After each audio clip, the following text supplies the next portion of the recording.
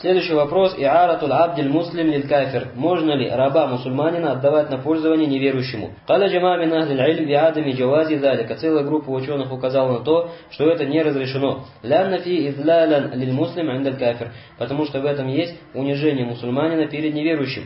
А это является запретным. Вахат каля та'аля, сказал Всевышний Аллах, «Валян едж'аля Аллаху лиль кафирина аля муминина сабиля». И не сделает Всевышний Аллах неверующим против верующих дороги. Караха, ва ба'дум биль джаваз. Второе мнение в этом вопросе, то, что это нежелательно. И третье мнение в этом вопросе, то, что это разрешено. Варраджих аль-ауаль. Но правильным мнением является мнение первое, о том, что это запрещено.